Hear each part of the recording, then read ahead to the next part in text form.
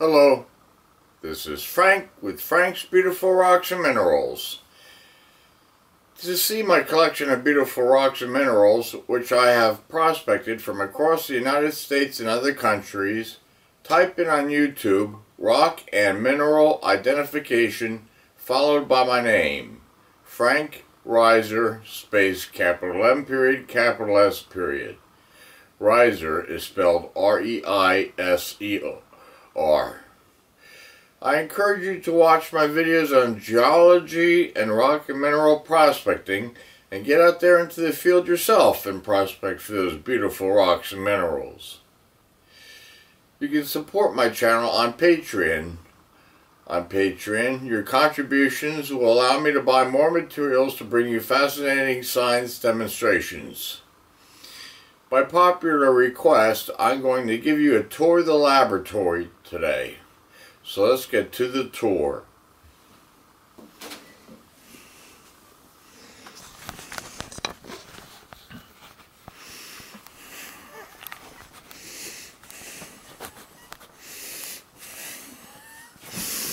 The tour starts here. I have collections of minerals all along here.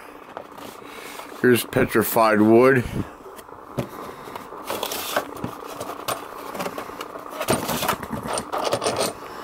Specimens of petrified wood. Petrified wood.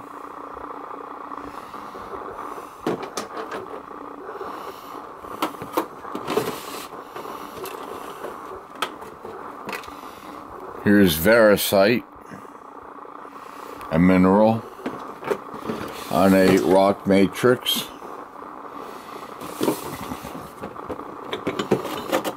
Here I have rods of selenite, crystals of selenite.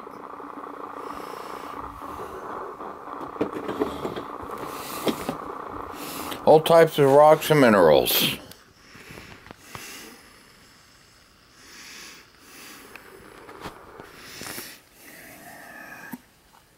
Over here I have all kinds of different kinds of minerals. For example, amethyst, blue quartz, clear quartz, rose quartz, and black onyx. And I even have minerals according to location, not just mineral content or rock content. This is from Jungfratzu Mountain in Switzerland.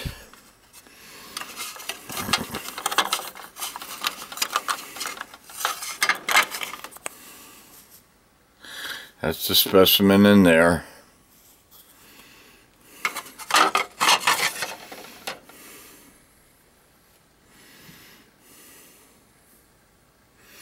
One of these is the um,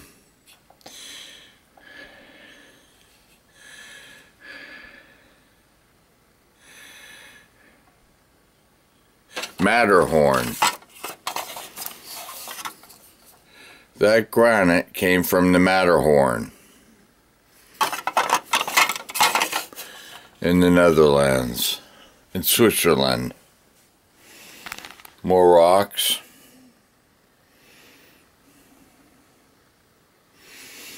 These are the physics demonstrations I have been doing.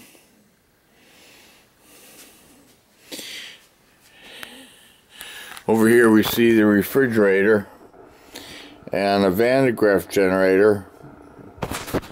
The refrigerator, like this one up here, stores physics materials.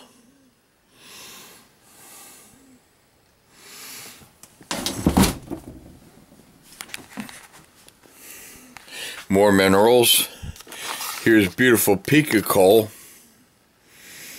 Shiny, shiny, shiny multicolored peacock coal. A beautiful mineral. Plagioclase, turquoise, apatite. Here's a little display of different minerals. I have minerals stored underneath the floor and in cabinets.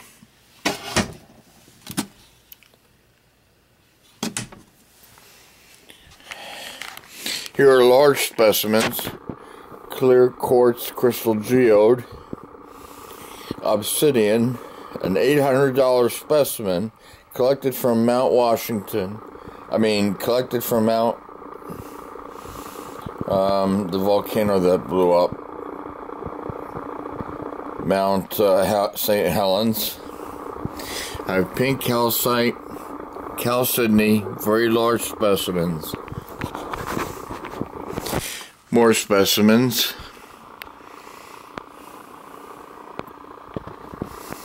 Another rock collection. A huge crystal geode.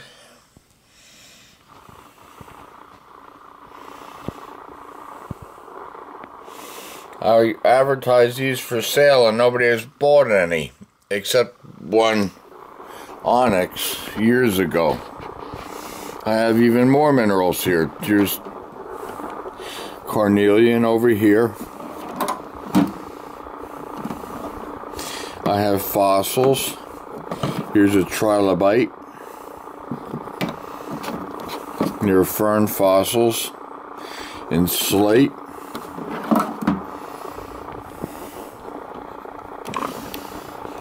Calcite, octahedral calcite.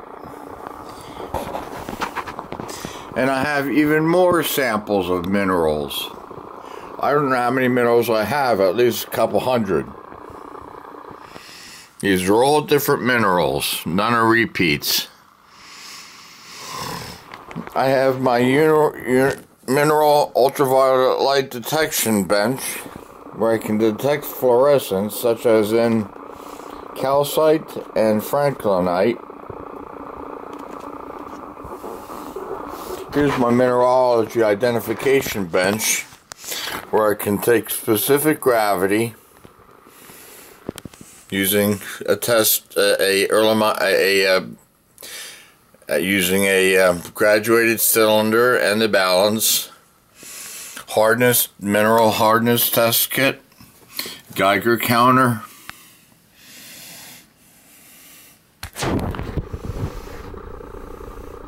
the fizz test with 10% hydrochloric acid and a syringe.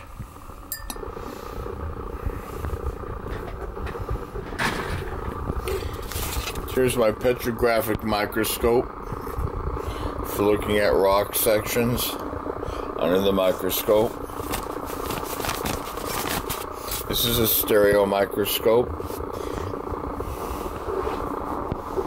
microwave oven and a conventional oven. Here's the conventional oven and the microwave oven.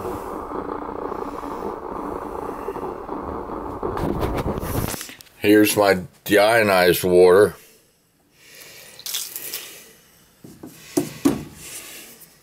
This is my limnology bench. Inside the limnology bench, I have limnology kits that test soil and drinking water for contaminants, Hach kits, portable water analysis.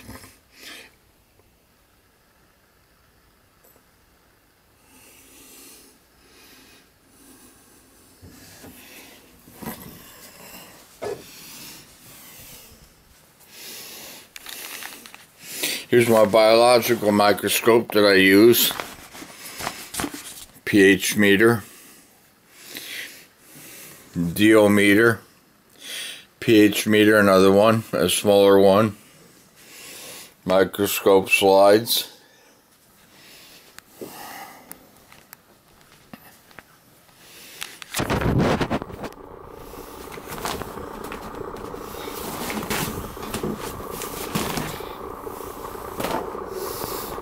My Spectronic 20 spectrophotometer that measures the amount of transmittance and absorbance of a colored specimen of liquid through a test tube that's made out of quartz.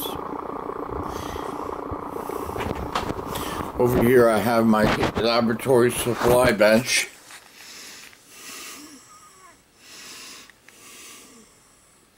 I have radioactive rocks right here, a scintillation chamber, test tubes, heaters, flasks, laboratory glassware including round bottom flasks. There's a round bottom flask right there. Separatory funnel, organic chemistry glassware, and general chemistry glassware all mixed together. Blender, blender, blender. Heat mantle with stirring rod. These are all minerals.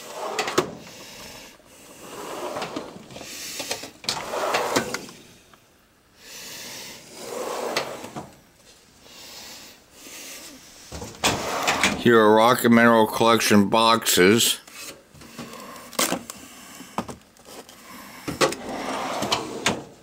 Same thing down there. More minerals.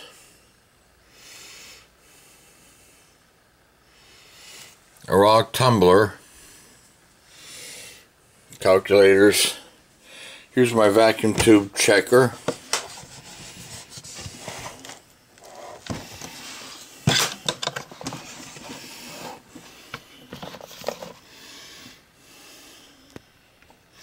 Test vacuum tubes for antique radios such as this one. Common rocks such as slate, talc, siltstone, shale, quartzite, marble.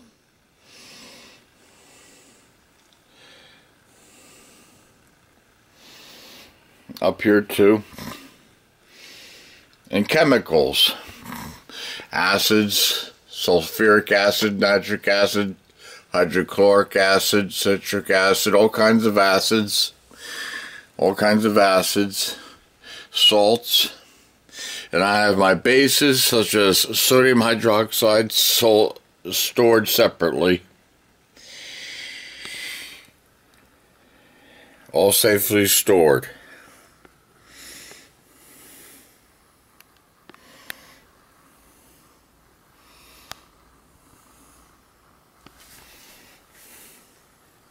Electronics.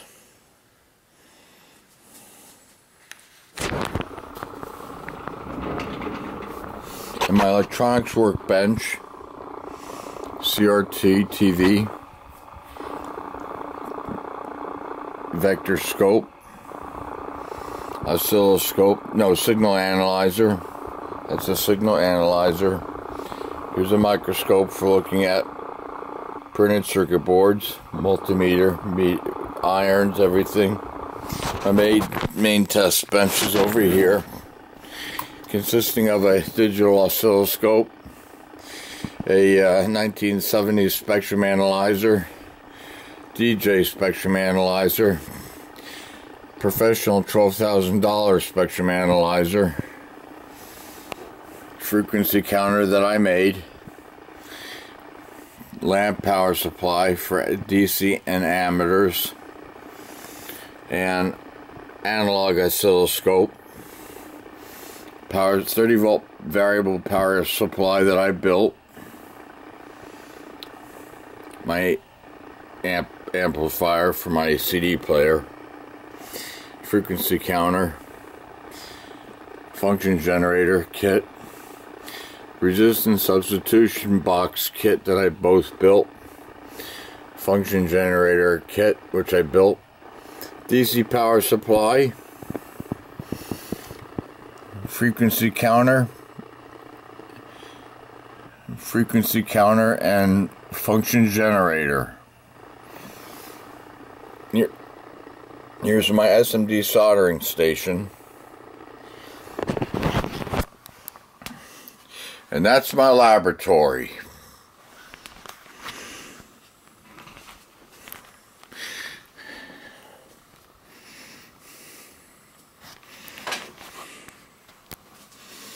And this is Frank, always reminding you, in order to find those beautiful rocks and minerals, to keep looking down. Oh, by the way, I need to buy a new camera, but I don't have the money anymore like I used to. So, I can't buy a new camera. The camera I'm using is 20 years old and doesn't have editing features. So even though I have so many science equipment, that's because I was wealthier when I had a job years ago. But now I need to stay directly on budget with Patreon. And this is Frank with Frank's Beautiful Rocks and Minerals. Now I'm telling you to always keep looking down.